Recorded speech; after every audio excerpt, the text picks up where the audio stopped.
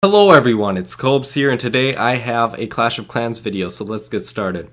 When I saw this base, I like, I knew right away I had to attack it and I had my full army and um, there's almost six, 600,000 of each resource and a ton of Dark Elixir, so I was definitely going for um, mostly Dark Elixir and Gold, but um, the Elixir was definitely on my mind. So I dropped my Golems, Wizards, Wall Breakers, Pekkas, Barb, Barb King in that order and then I dropped some more wall breakers and wizards behind.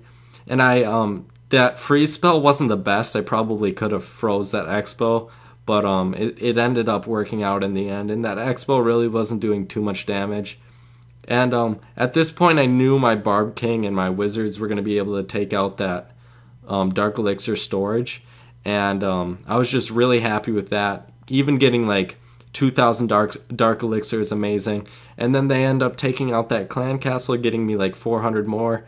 And then taking out this town hall. That gets me about um, 600 more. And then that dark elixir drill up there is being taken out by my archers. So let me speed this up.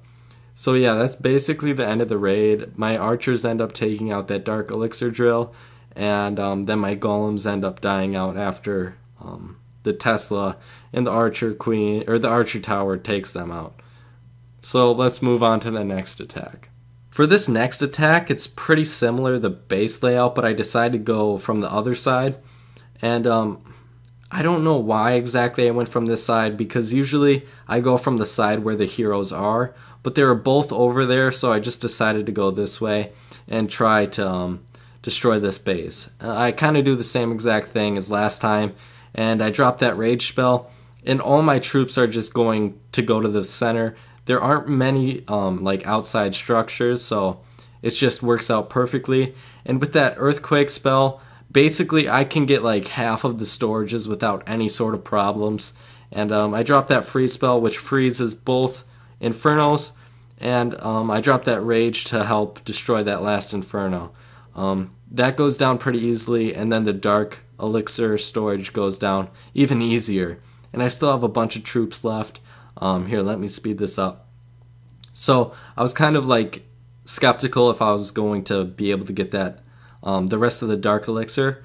And um, at this point, once they broke through to this side, I knew they wouldn't go around the base and destroy that dark, dark spell factory, and they'd break into this wall and they would be able to get the rest of this dark elixir for me.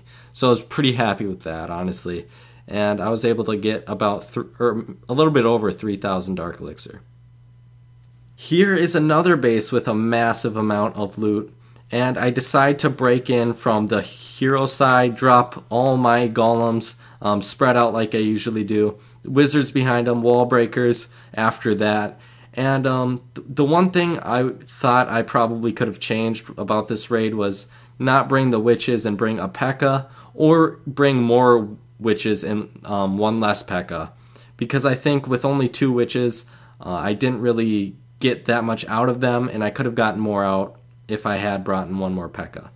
And I was able to freeze both of those Infernos very easily because they're right next to each other, and I take them out without really any problems. And then I take out that town hall, and I'm at about 4,000 dark elixir at this point, so I'm happy. And um, honestly, I didn't even expect to get that much, but I ended up getting that much. And um, yeah, that that's basically it for this raid. I end up only getting like 41%, and I try to take out this dark elixir um, drill over here, but I really wasn't successful. But I still ended up with a ton of loot. So um, yeah, I changed up my base a little bit if you guys couldn't tell. Um, I think I need to change it up. This is kind of just a sloppy throw together, but I think it is better than my old base. And I don't get attacked as much um, because my Dark Elixir is way safer than it was prior to um, this base. And I've been working on some walls here. I'll kind of show you how many I got. Um, at the end of each video, I'll show you how many I did. Um, I'll definitely have to attack off camera tonight to try to get the Dark Elixir so I can upgrade either my hero or my um, Archer Queen or my Barb King. I don't know if I'll have enough for my Archer Queen, so I might have to do my Barb King. Um, yeah, but I got all these walls done and all of these on this side and then the middle section.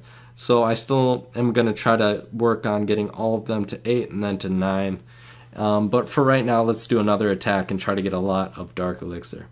Here's the last replay. So um, honestly, this attack didn't go as planned, but I still did get a decent amount of Dark Elixir. So I decided to break in through the queen side with that Earthquake spell, and um, I dropped my golems in a line but spread out, wi wizards in a line but spread out, and then I dropped like all all the rest of my troops, um, except for a couple wizards and um, archers. So they did end up going around the outside, but that isn't the worst thing that could have happened. Um, I ended up dropping that freeze spell, and it froze like a what a hidden Tesla, some skeletons, and that Inferno. And that Inferno is just frying everything. Um, but I was able to get like those Dark Elixir um, drills, which had 3,000 Dark Elixir in them. And then my troops decided to go into the center portion and try to take out this town hall, um, which they end up doing, fortunately. And I get even more um, Dark Elixir. Let's see how much more, like 400 more. And I am able to secure the two star. And then over here, I drop an archer and two wizards to take out this, or try to take out the gold mine. And I was able to get 3,400 Dark Elixir. So that's going to do it for this video. Thank 153 more level 7 walls to get to level 8.